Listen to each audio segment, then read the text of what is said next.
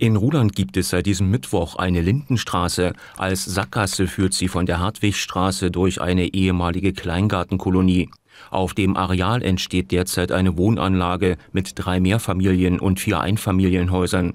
Finanziert werden sowohl die Gebäude als auch die rund 140 Meter lange Trasse zu 100 Prozent mit privaten Geldern.